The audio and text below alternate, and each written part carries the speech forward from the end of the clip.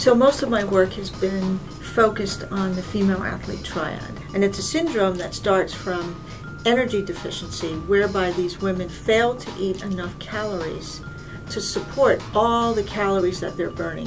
What we know in, in sort of popular literature is that a woman that runs a lot might lose her period. She might stop menstruating.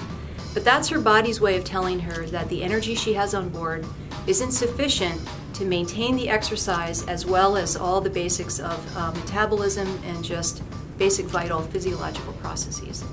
The female athlete triad is a spectrum of health, health problems that occur in female athletes that range from mild health problems to severe health problems.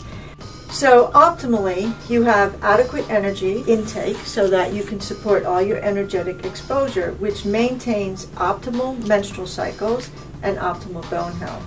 However, in the case where you fail to eat enough calories, the worst case scenario is that you have a severe energy deficiency with or without some of the disordered eating patterns, amenorrhea, which means you've completely stopped menstruating, and you have low bone mass such that we can call it osteoporosis. And I've had many an athlete tell me, well, I'm supposed to train and run as hard as I can until I stop getting a period. And all my friends tell me when I'm not menstruating anymore, that's when I know I'm in my training zone. Well, that's wrong. Amenorrhea or failing to menstruate for months on end is not a normal response to training. It's an abnormal response with serious health consequences. These bone health problems might not be reversible. Might not be reversible. This syndrome of medical disorders affects not only elite athletes, but it affects recreationally active women. I've documented this very well in recreational runners doing as little as 10 miles a week. Women are not exercising at too hard an intensity, or they're not running too much.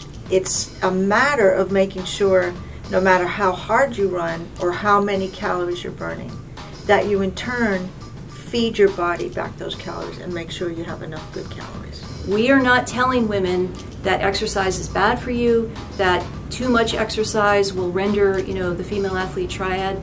It's really all about energy and caloric intake. And so we really have to be concerned about trying to coach young athletes to eat enough calories.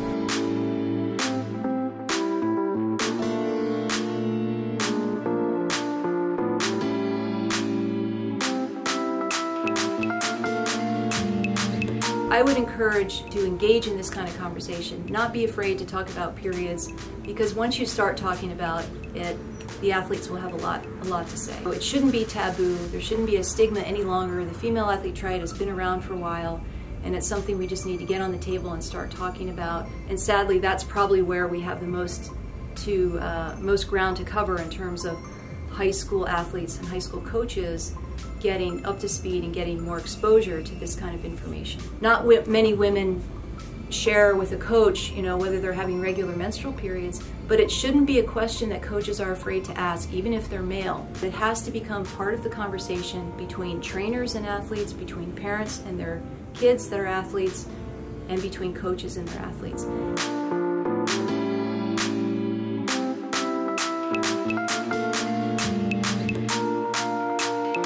If you are concerned about the female athlete triad, you should go to the femaleathletetriad.org website. Super easy to access. There's lots of information on the website to include information about how to find a physician. There's information about the science of, of the triad, and there's also a calculator so you can calculate how much food you need to eat.